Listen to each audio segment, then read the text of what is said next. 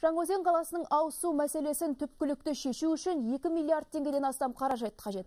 Елдің даму, даму өңірлік министрі Жәміш Дулат Жәмішев алғашқы жұмыс сапарымен Маңғыстау түбегіне барғанда кәсіпорын басшысы осылай деді.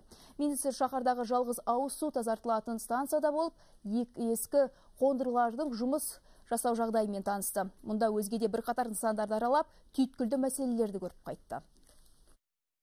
Мұнда Астрахан маңғышлақ су құбыры арқылы келетін еділ суы тазартылады. Жалғыз станцияда небәрі екі қондырғы орнатылған. Оның өзі ескірген, біреуі мүлдем істемейді.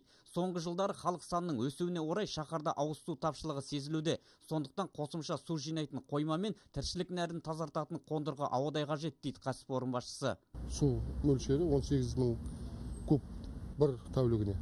Ал біздің запас 3 күнге тәулікке запас су керек сондықтан мына қазіргі таңда мына казтрансойл мекемесі несінен тарапынан проект жасалды жобалық смета қырық мың куб су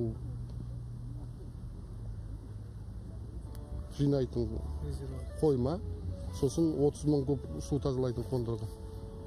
Жалпы құны оның екі миллиард бір жүз он миллион. Сол мәселені шешіп берсе біздің қазіргі таңда мына өзен өзендегі өзен халқының су мәселесі шешіледі. Министр бұдан соң салынып жатқан жылу электр орталығының құрылысымен танысты. Жоспар бойынша нысан 2015 жылы аяқталып пайдалануға берілмек. Алайда мұнда да сол қаражат мәселесі қолбайлау болып отыр.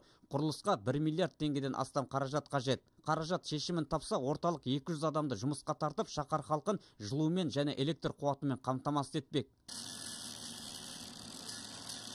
Министр бұдан әрі кәсіпкерлерді қолдауға арналған бизнес инкубатор қызметімен танысты.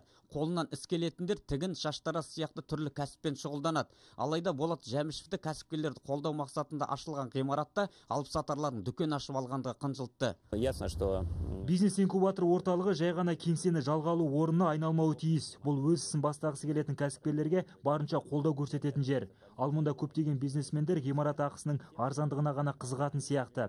Мен түрлі зат сатып тұрған бірнеше дүкенді көрдім. Орталық алып сатарларға емес өнім өндіретін және халыққа қызмет көрсететін кәсіпкерлерге арналған. Сапар соңында болат жәмішев облыс басшыларымен кеңес өткізіп өңірді дамытудың негізгі басымдықтарын атап өтті. Министрлік пен облыс әкімдігінің тарапынан жедел шешуді талап ететін өзекті мәселелерді талқылады. Министр өңірде күрмеулі деген мәселелерді үкімет талқысына салатынын айтты.